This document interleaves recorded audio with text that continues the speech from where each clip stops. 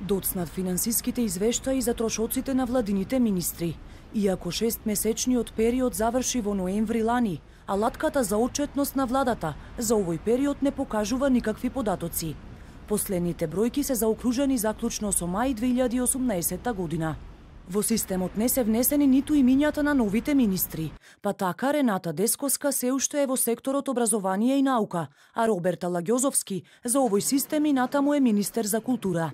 Власта пак, токму овој систем и денеска го представи како достигнување од аспект на транспарентноста и концептот на отворена влада. Во контекст на отварањето на податоците, владата и самите знаете воведи софтвер кој што ги објавува трошоците кои што ги правиме ние министрите, замениците министри и државните секретари.